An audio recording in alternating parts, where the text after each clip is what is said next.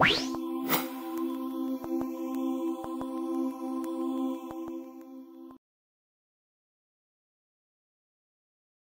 my name is Andy. This is a training video for beer bottle through the table. What you need for this trick is a perfectly normal beer bottle or a glass or maybe work with an ashtray.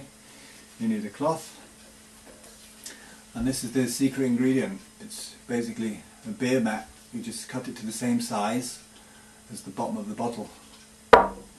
When you're ready to start, hide the disc inside the cloth. Make sure nobody sees it. You take the bottle. Put it inside the cloth. And you have the disc on the bottom of the bottle. The reason for the disc, when you take the bottle out, you see the cloth still holds the form, gives the illusion the bottle's still inside.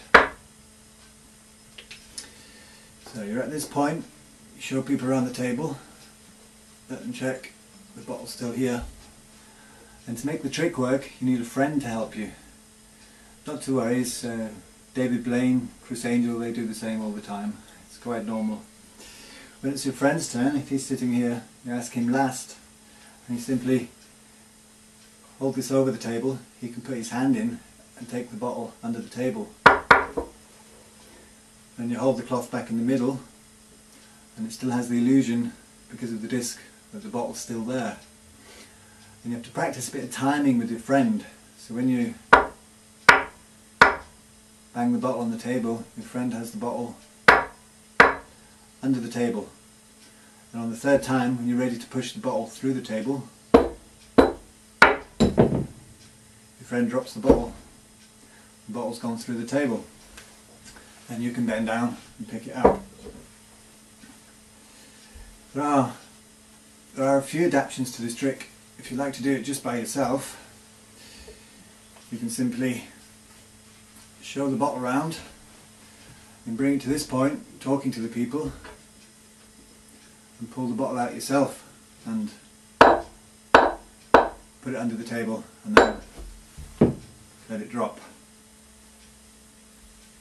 If you want to do the trick with both hands on the table, makes it a bit more convincing, you can show the bottle around. Come to this point, before you go to push it through the table, simply, without banging on the table, drop it into your lap. And you're ready, push. As you push, open your legs and the bottle will drop on the floor. You see?